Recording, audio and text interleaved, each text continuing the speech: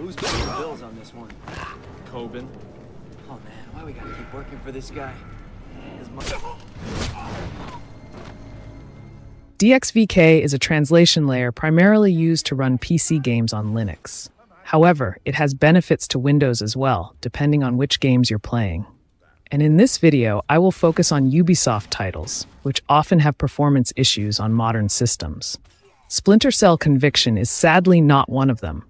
It uses a 32 bit kernel and runs with the DX9 renderer. It gains no performance from DXVK, as you can see in this demonstration. But like I said, its main benefit is so that Linux gamers can play these games. But I have found two Ubisoft titles that do benefit in a major way. So let's have a look, shall we?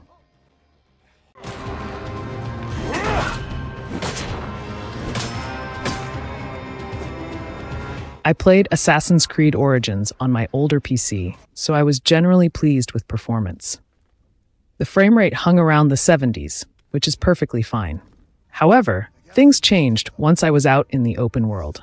Frames dropped even more when there were lots of particle effects. Bear in mind, I was playing with maxed out graphics at 1080p.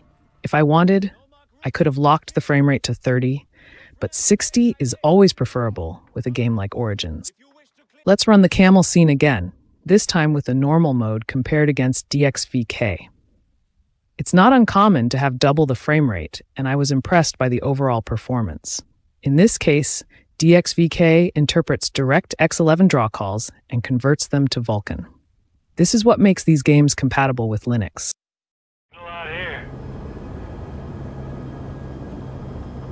Crossing over the Henbane now.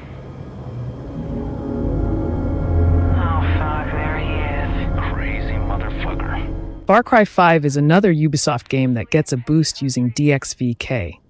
Normally, it suffers frame drops when there's lots of action on screen.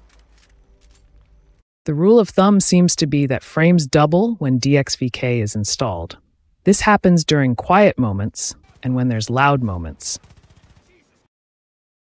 Bear in mind, if DXVK is installed, you will get a message in the top corner of your screen warning you that your graphics adapter is out of date.